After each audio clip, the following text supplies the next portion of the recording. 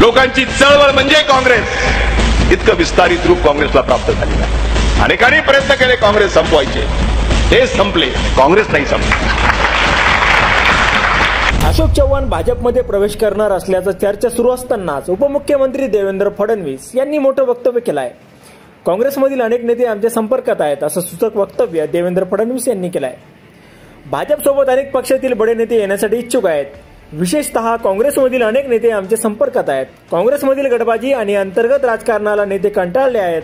काँग्रेसमधील मुस्कटदाबी आणि मोदींच्या नेतृत्वातील भारताची प्रगती पाहता अनेक नेत्यांना वाटतं की मुख्य प्रवाहात यायला हवं. त्यामुळे आमच्या कोणकोण संपर्कात आहेत? भाजपमध्ये कोण कोण येणार आहे? याबाबत मी इतकंच सांगेन. आगे आगे देखिए होता क्या आहे. महाविकास आघाडीतील सगळ्याच पक्षातील नेते आमच्या संपर्कात आहेत. काही लोकांना यायचं आहे. ते येत आहेत. मोदीजींसोबत भाजपसोबत यायला हवं. ही त्यांची भावना झालेली आहे. काँग्रेसचे अनेक नेते संपर्कात आहेत. गेली काही वर्ष काँग्रेस जी वाटचाल करतोय त्यामुळे लोकांची घुसमट होते. आगे आगे देखील होता क्या आहे असं देवेंद्र फडणवीस यावेळी म्हणाले.